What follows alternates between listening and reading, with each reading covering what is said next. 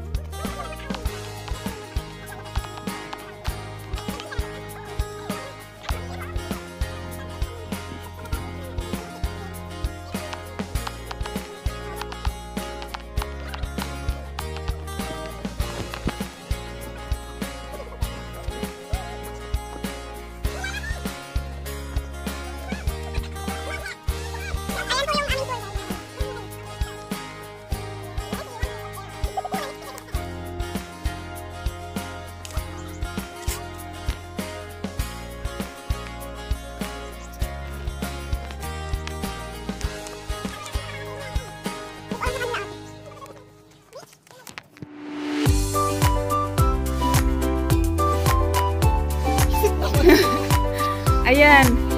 Ito po. This is uh, tour guide po namin. And then, dead end po siya. So, aakyat kami dito sa fence.